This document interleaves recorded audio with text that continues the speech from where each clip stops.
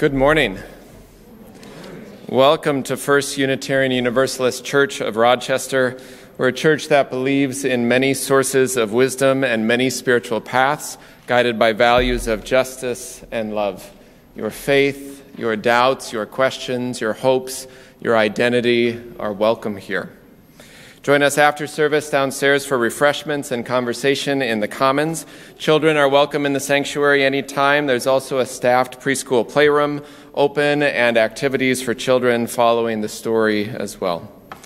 Wednesday evenings, you can join us for Tupper Supper, named after the Reverend Eliza Tupper Wilkes. Supper is at 5:30, followed by a forum along with choir and activities for children and youth each week.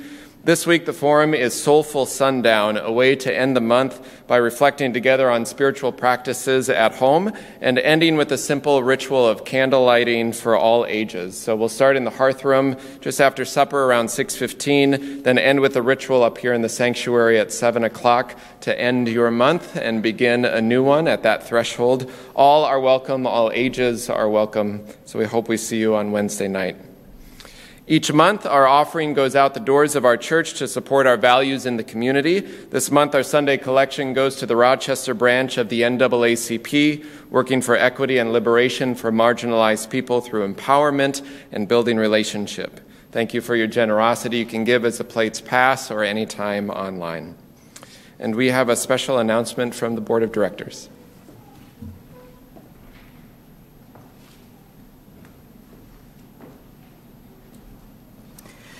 Good morning. So, after much hard work, information gathering, and conversation, the Building Our Future Beyond Ourselves congregational vote is here. This vote is the first of several votes as we consider what we need in our building and will provide direction as to whether we explore staying here on this property or moving to a new property. Today, you will receive an email that will provide a link where you may vote electronically. If you prefer to vote in person, voting is available in the entryway between services and after the second service, both today and next Sunday, January 29th.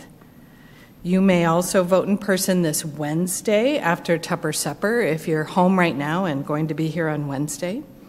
If you have any questions about how to vote, please contact the church office. The vote will close on Sunday, next Sunday, January 29th at 3 o'clock in the afternoon, and the results will be shared in a special e news as soon as the results are tabulated. The board would like to encourage all members to vote in this important congregational vote. If you need more information, board members and Building Our Future team members will be available in the hearth room in between and after services to answer any questions you might have. Your voice is important in this process and as we determine our next steps in building our future. So please vote and encourage everyone else to vote. Thank you.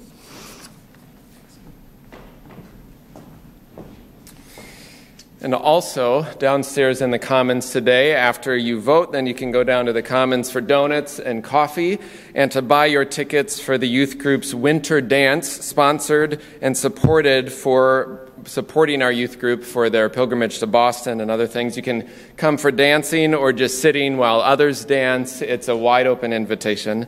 So you can get your tickets. The dance is on February 11th. Information at the table downstairs. So I invite you to take a breath we enter our worship together with these words from the Reverend Eliza Tupper Wilkes, our minister in the 1870s. May our faith in humanity and our message of hope and good cheer light our way. It's good to be together. Just a moment, the music will call us back, but I invite you now to rise in body or spirit, give a wave to those online, and give a greeting to those around you.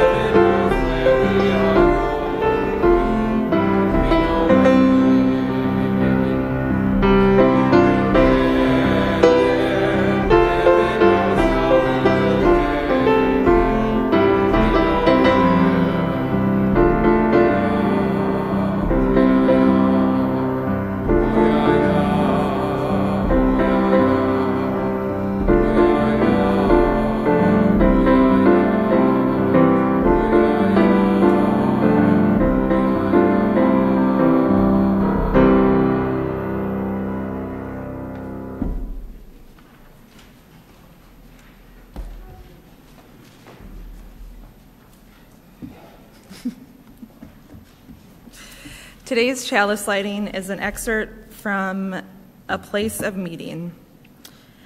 Out of wood and stone, out of dreams and sacrifice, the people build a home. Out of the work of their hands and hearts and minds, the people fashion a symbol and a reality.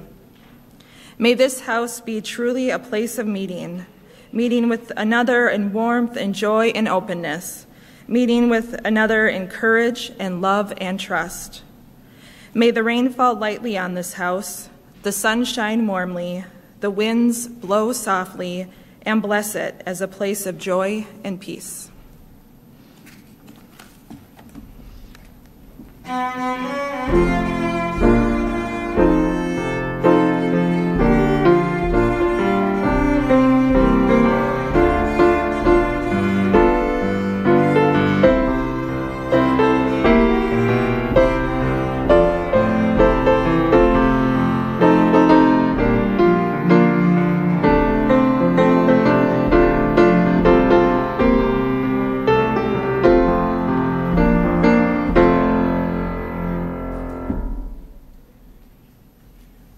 I would like to invite any children forward who'd like to come up.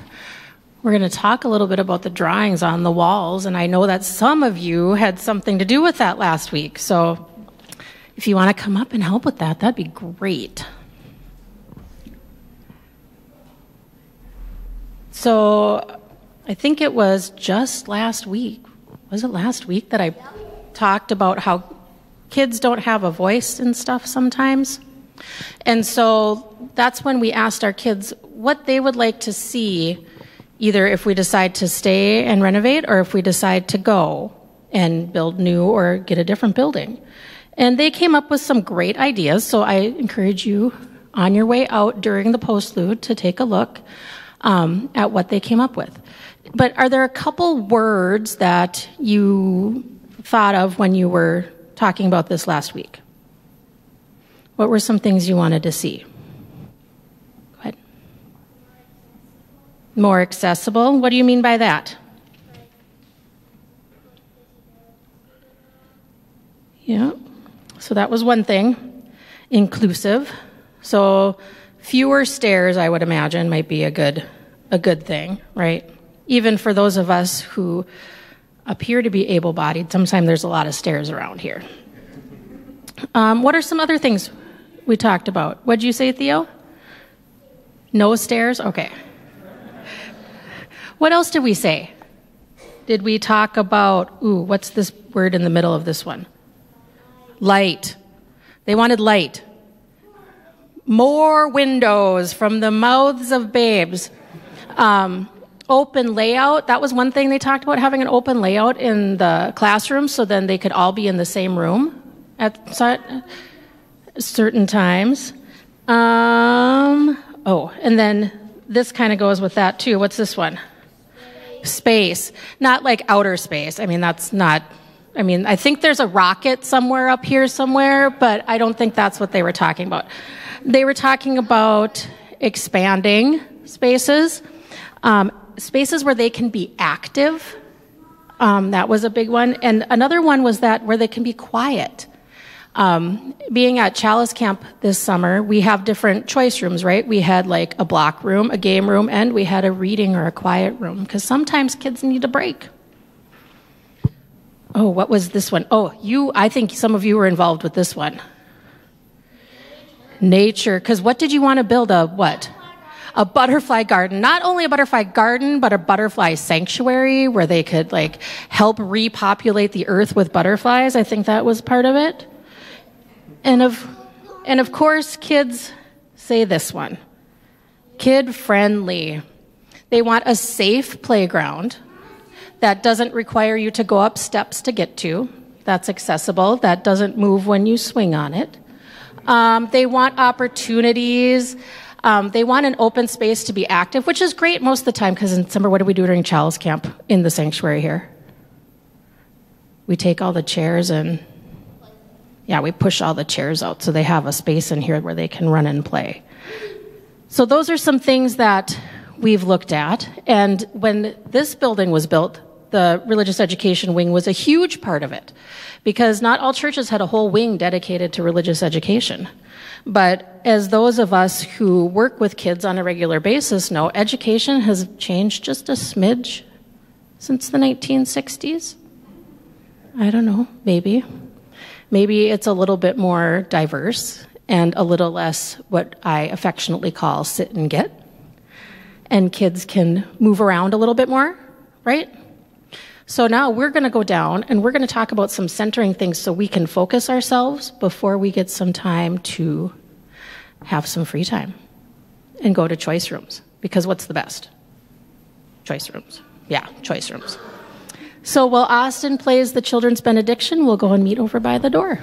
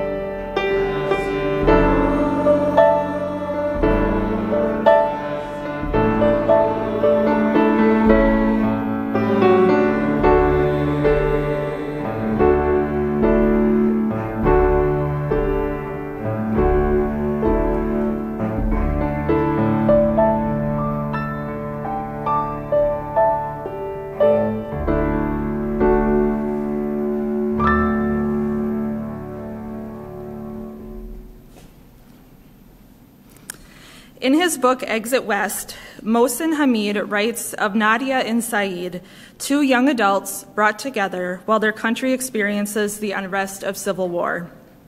As the violence escalates, the two fear for their lives, but also begin to hear about magic doors that once you step through them, they will send you away from your current land. They never know where the doors will lead them, but in most cases, they feel that taking the chance and walking through the doors would be, better, would be a better option than staying where they are. As the book progresses, we are brought along on their journey and see the consequences of them walking through the thresholds of these mysterious doors. And often that's how it is with doors. We don't really know what will happen as we step through them. We may think that we know what awaits us, but we can sometimes still be surprised. Like when you go to a standing dinner engagement and someone new is there. Other times we have no idea what is on the other side, but with courage, take a deep breath and step through anyway. I also think of other doors, emotional and spiritual, that we walk through. Walking over these thresholds can be harder to notice, but are often felt just as fully. This could be when we leave relationships that no longer bring us joy, when we leave a job that is toxic, or when we try a new hobby that ends up opening a whole new world to us. In all of these cases, there can be fear, anxiety, hurt, excitement, and peace that comes with taking those first steps. I'm sure many of you, like me, may have had those thoughts the first time coming here to First UU wondering what will greet you as you step through the threshold of our front door. And I'm sure, like many of you, you were greeted with a warm smile and, warm, and words of welcome. I, for one, have been changed for the better by taking those steps into our church.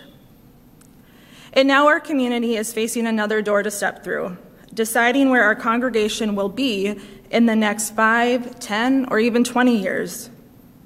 Luckily, we have had many fellow congregants put in hundreds of hours of research and preparation to inform us about our options. They have ensured that we are not stepping through this door uninformed. And unlike Nadia and Saeed, we are not running from our current situation, but rather running towards a future filled with possibility. And we'll now accept the offering.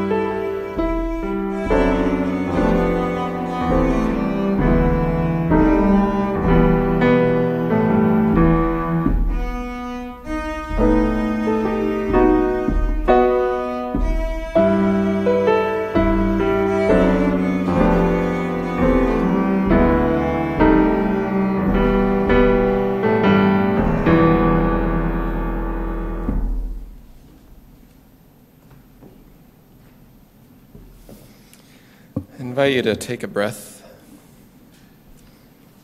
Breathe deep the breath of life. Feel below you the earth and its ancient turning. Above you, the sky, and beyond that, the stars shining with their ancient light, holding you in this moment, this breath, this space. You yourself made of earth and stars. Know that in this house you are named and you are known as beloved, as sacred. I invite you into this time of meditation, this time of prayer, first by sharing silence together.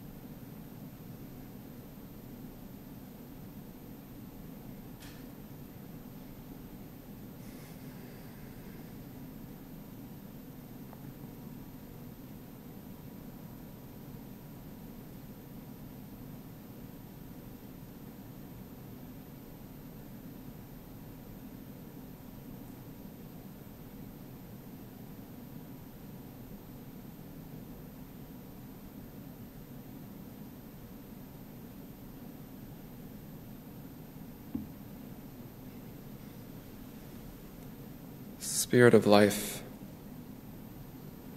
source of love, God and Goddess of a thousand names and beyond all naming. My, the days are gray, a hazy shade of winter this time of year, as if the sun, though the scientists and poets assure us it is still there, seems to be waiting it out till spring. Some days we have to make our way through the grayness, cutting through the fog or the ice or the sleet or the freezing fog or the many forms that reminds us of cold. The pathway slippery at best, sometimes obscured by more snow, even with the best amount of shovels and work and blowers to clear the way. And then sometimes you find the safest path that is not where it has been cleared. They're guided by the little boot prints in the snowbank, forged by some playful soul reminding us that even when life is piled up on every side, we can still find a way. We can take hold of our companions to steady us, and we keep on going. In this sacred hour and in this community, we hold many joys and sorrows, our own and others. We are grateful for all those who help hold our community together in care for one another, in care for our children, in care for our space. I invite you to bring the names you're holding in your own heart this day in joy or in sorrow, celebration or concern, and silently or aloud now in this time to speak their names.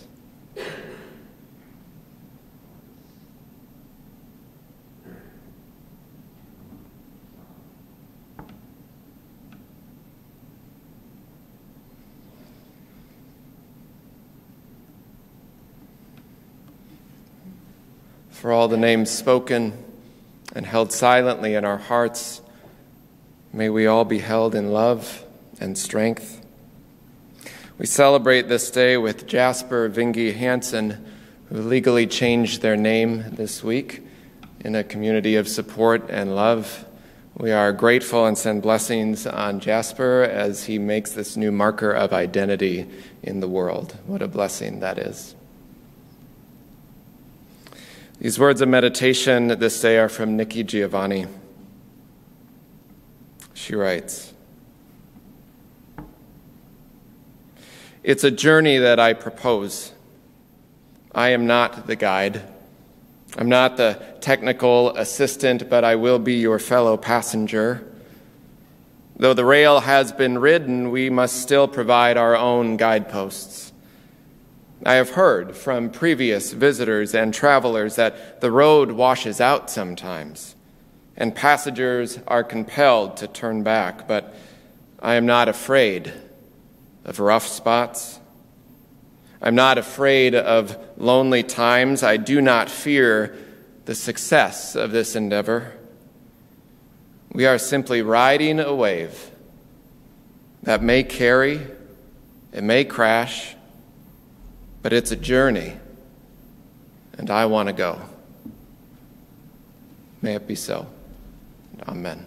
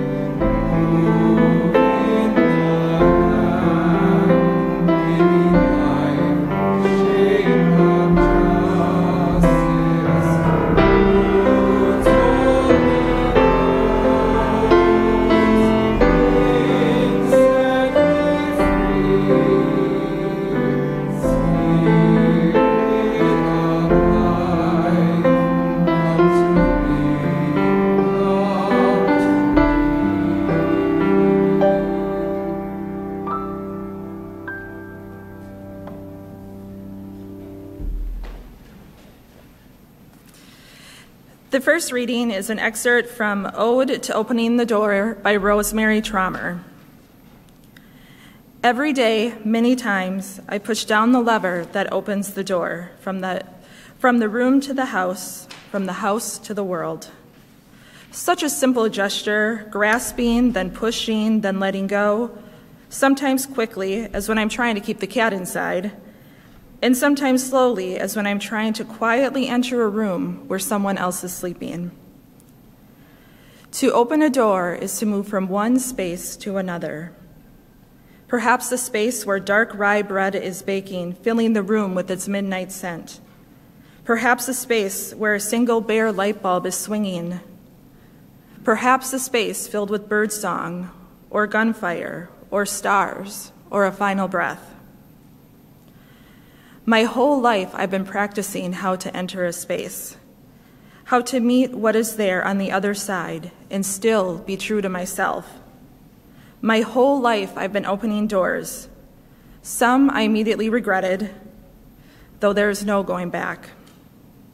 The room I left is never the same when I return, nor am I the same. Every door I open, I practice how it is to move through, to move into, to offer my attention to what is new. Perhaps a gust of wind, a lullaby being sung, a spacious grief, or an expansive trust I never dreamt was there. The second reading is I Dwell in Possibility by Emily Dickinson. I dwell in possibility, a fairer house than prose, more numerous of windows, superior for doors, of chambers as the cedars, impregnable of eye, and for an everlasting roof, the gambrels of the sky, of visitors, the fairest for occupation, this, the spreading wide my narrow hands, to gather paradise.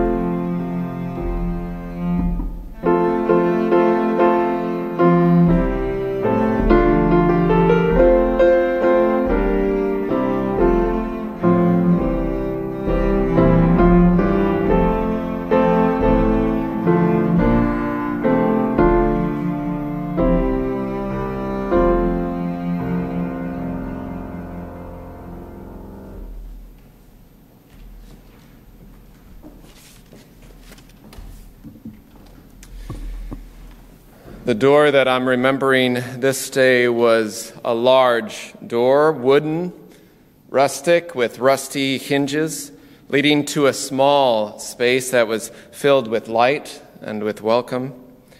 The door was propped open by a really large brick and a much larger love. At the Unitarian Universalist Fellowship, where I first found this faith in Dubuque, Iowa. I remember sitting down that first Sunday, having wandered down the hill from my Lutheran seminary studies and entered a small sanctuary of about 20 people, thinking, these hymns are familiar but different. In fact, everything in that space felt familiar but a little different.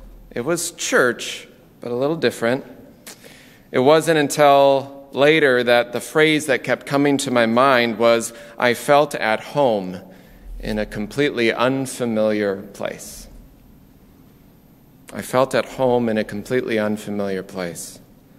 I've heard that story from many of you and many others who have entered these doors. I've heard that story of folks on winding spiritual journeys, some needing this church and this tradition as simply a step along a larger journey, leading them somewhere else but many finding here a deep sense of belonging, of chosen family, of roots, of home.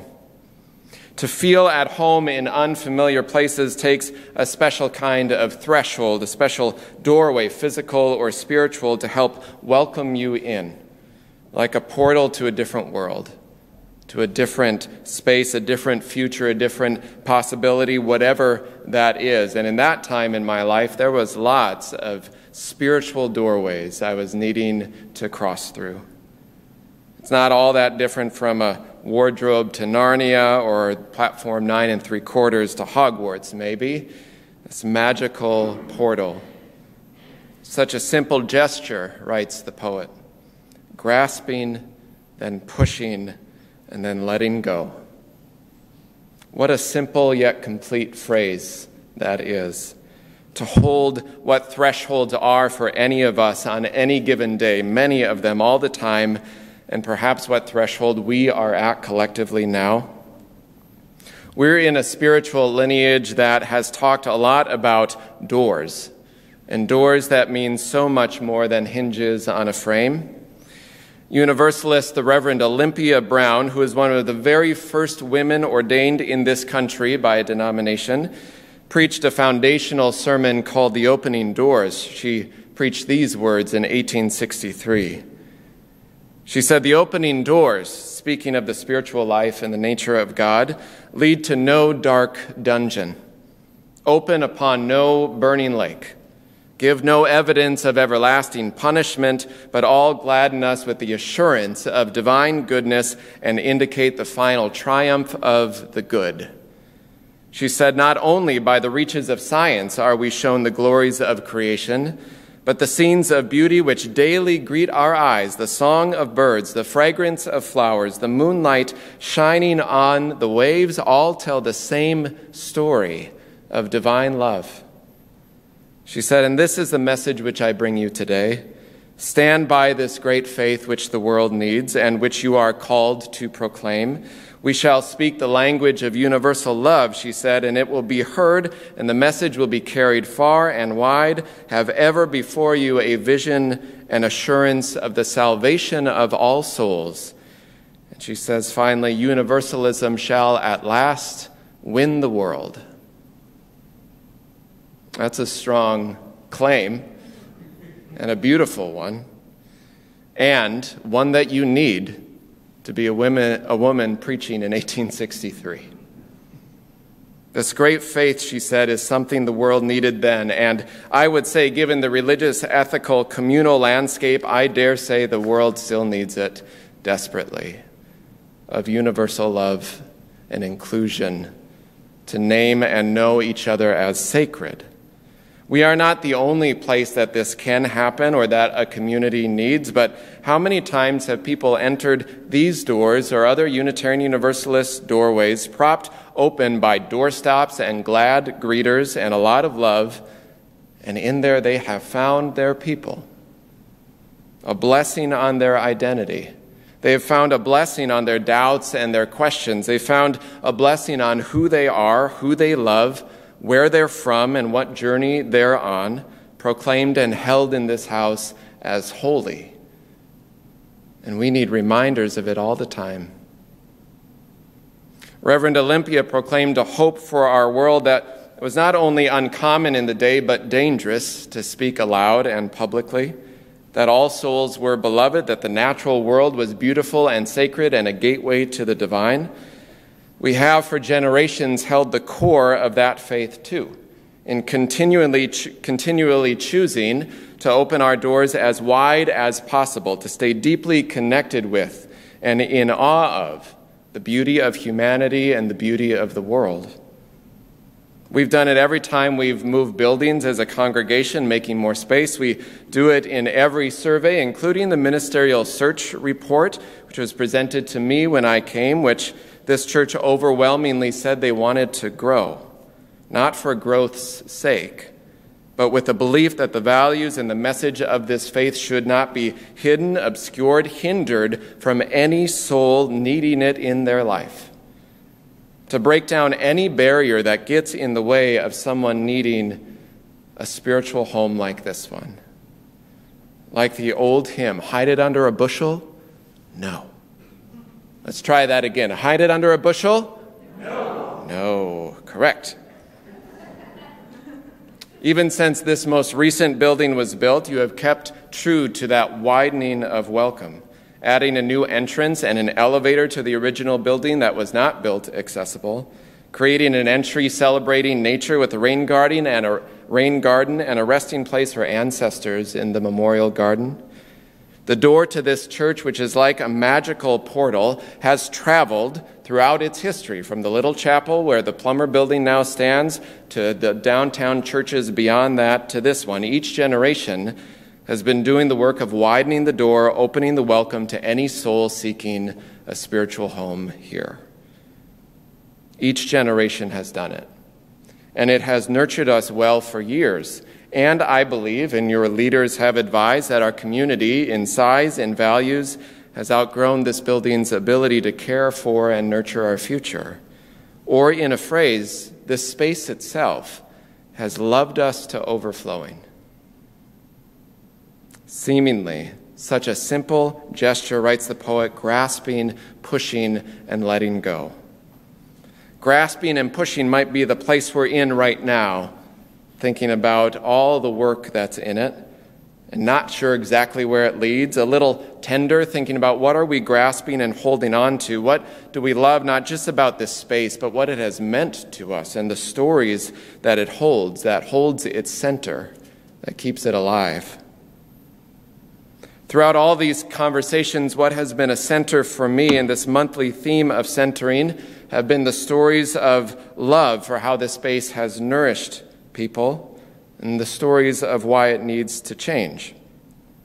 The basics of this you've heard, most likely in multiple formats through forums or documents, but a quick guide version of some of the major needs just in case you're new today or you haven't been paying any attention, and that's okay. You have busy lives, right? One, environment. Hot and cold air just kind of pass through these walls pretty easily, which you know well if you sit on the back wall in January. It reminds me of my grandpa's phrase we're not trying to heat the neighborhood, close the door. So our building can be very inefficient, bad for the budget, and out of line with our values. Two is accessibility from our four flights of stairs between the main parking lot and the sanctuary to the accessible parking lot being on a slope that often has ice between the door and those spots because of the melt freeze times of year. To the crowded spaces or the narrow pathways that are nowhere near ADA compliant, kitchen or bathrooms, no space for accessible private bathrooms for gender nonconforming folks or caregivers or families our space doesn't line up with our values of inclusion. And finally, flexibility. Even if we are not at full tilt capacity every single Sunday or Wednesday in every space, which we know for best practices, really you should never be beyond much more than 60% full to have enough space for people to find places to sit and to move around safely. But we also have no ability to easily shift space for overflow space because of the rigidity of walls and of levels, which are not possible to reasonably change given the structure of the building or the slope of the land. So you know all those things probably. These are the technical reasons for your leaders recommending a go vote beyond preferences for natural light or a butterfly garden or a functional, safe playground or green space. But central to all of that, that roots all of that, that started all of this conversation for me, and I'm sure all of you, are the stories more than the facts, the experiences more than all the little statistics. So I want to share a few of these stories, but not from up here because these are stories that come from the floor. So I want to share these stories from down here, knowing that these are the stories I'm privileged and gifted to hold and hear and to then retell. So, beyond all that, these are some of the stories that have stuck with me over these few years now of conversation. One, I think of the person who said, I met my spouse at that table, speaking of a place in the Commons, and I got married upstairs. This place means a lot to me, and I want to make sure I make enough space for anyone who might have a similar story and need more space than we have here. Or I think about the person who nervously said about the possibility of moving, What about the book? They were speaking of this book here that holds the names of over 150 years of members and friends. It also has some language in our Universalist heritage that some of you would be like, oh my gosh, like christenings are in here. And then also have unions and marriages, and you have deaths and remembrances and gifts, all in the record book. And that, they were reassured, would come with us, and that made it all right. So that is true. I think about the person who talked about not wanting to take up space in the upper parking lot because they wanted to leave it for those who really needed it. So they traveled in the winter every Sunday with their small child rambunctious at their side and the small child growing within them and huffed it up all the flights of stairs, staggering, out of breath, uncomfortable, to leave space for someone else. I think of the person who has beloveds in the memorial garden who knows that we must and will find a way to both ritualize and hold that soil, whether we are here or somewhere else. The importance that those ancestors built something and now it's their turn to build something else. I think of the people who shared with me that they don't come to most events in this building because they're worried about the crowded and congested space as it relates to their mobility concerns, or other folks that don't come because of their sensory needs and feel closed in. That you come in, there's no windows, there's no way to get out the back, kind of stuck here. And it makes them too anxious. And so they don't come in person, even if they wanted to. I think about our youth on pilgrimage, learning about the transcendentalists like Henry David Thoreau and the Alcotts. And they spoke of nature, those transcendentalists, as the embodiment of the divine, as the holy, as the sacred. And then you could see the wheels clicking in their mind, and they thought, so if nature is so central to our tradition, why do we have such little green space at our building? And why is nature blocked out of the place where we do all of our important rituals. I think of the person, this was a new one recently, who was recently incarcerated. And their first time entering this space, they said, in what many of us would not know about this view, they said it felt like when they had to enter a courtroom on the side of the podium with everybody facing them. It brought them back to the moment they were a defendant. And I think of the children who, when asked, and they don't get a vote, we vote on their behalf, said they wanted more comfy places to sit. They maybe wanted some beds and couches. Maybe they were tired when Amy was talking to them. They wanted more open spaces, less walls, more windows, and one wanted our church to be a video game store. Which I'm just going to interpret metaphorically as wanting to be a place of joy and fun, even though I think they meant it quite literally. Since they can't have a vote, we cast a vote on their behalf. There are more stories. Some of their stories are here on the side. Take a look on your way out. More stories about the need for change, but also stories about how much love has been nurtured in this space. How many rituals and moments have been held in this space? How many times of gratitude and spiritual growth and learning and connection and community and friendships have been nourished in this space?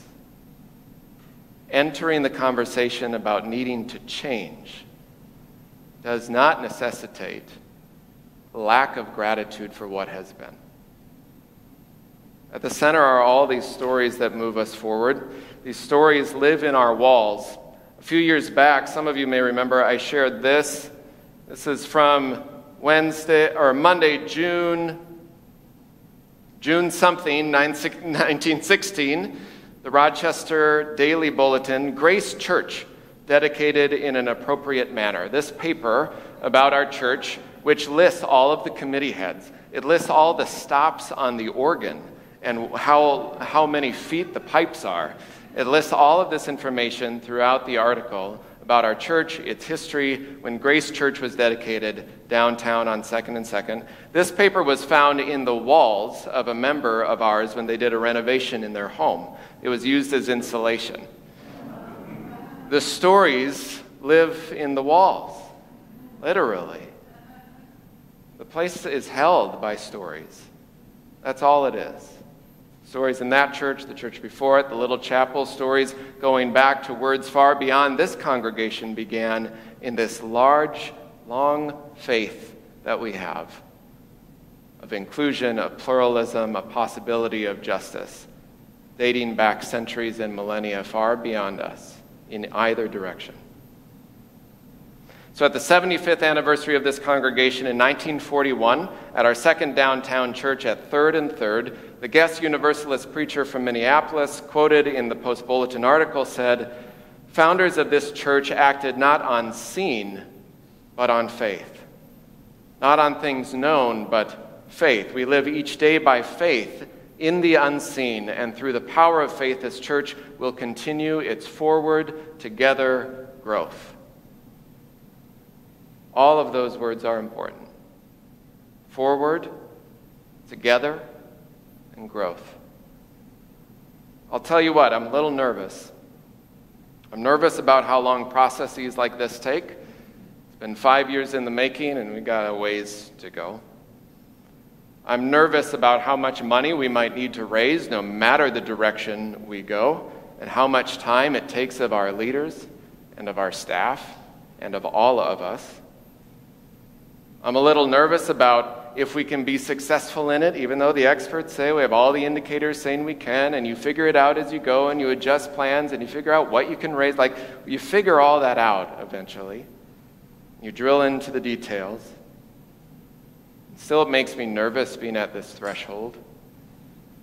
But what makes me more nervous is if we maintain the status quo if we do nothing and stay put. I'm nervous about what that means for a flourishing future for our church and our faith. I'm nervous about what that means to our commitment and values of inclusion and the environment and being able to actually partner with community justice partners. With adequate space for gathering, green space for community gardens, and other possibilities that aren't possible here. I'm nervous about what it says to our kids if we say, yeah, no, there's a lot of problems, but this is good enough. Good enough for us and good enough for your future. I don't want to confuse this vote with not loving this space. It's only because this space has nurtured the community well that we have the conversation at all. The building has loved us to overflowing. And it's ours now to follow where love leads next So, the question before us, the question that spirituality always asks, the question that ethics and justice always asks is this What is right?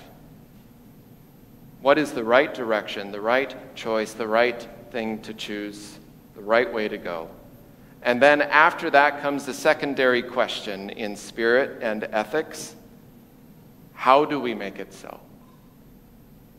But first you ask, what is right? Justice is right, and then how do we make it so? Love is right, and then how do we embody it?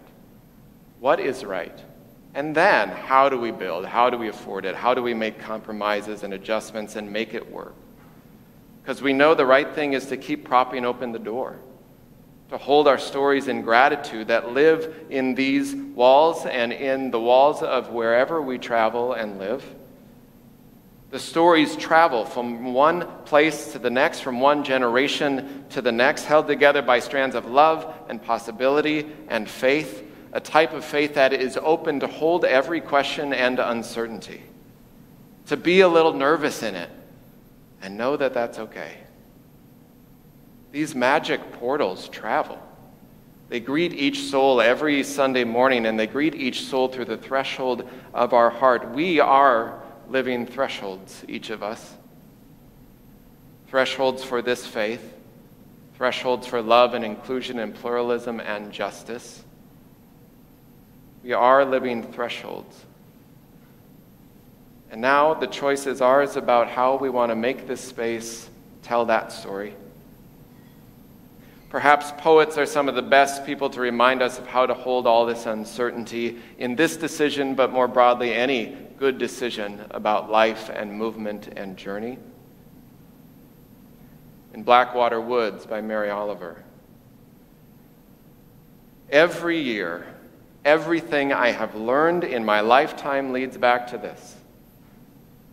To live in this world, you must be able to do three things to love what is mortal, to hold it against your bones, knowing that your life depends on it. And then when the time comes to let it go, to let it go. If I can just remember those three things, I think I've got a fairly clear path in life in general. To love what is mortal, to hold it against your bones, knowing your life depends on it, and when the time comes to let it go, to let it go. To grasp and to push, to let go. That's the threshold. The hymn is the fire of commitment. I invite you to rise in body or spirit as we sing.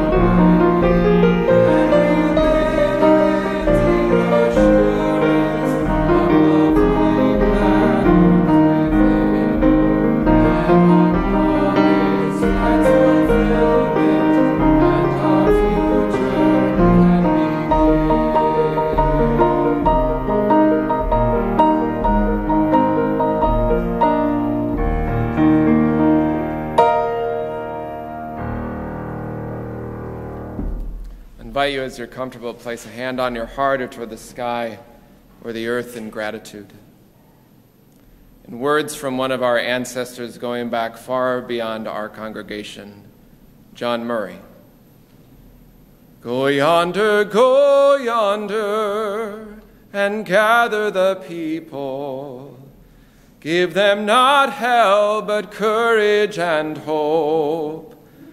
Give them something of the love you have found here, and tell all the people that love is our home. Amen.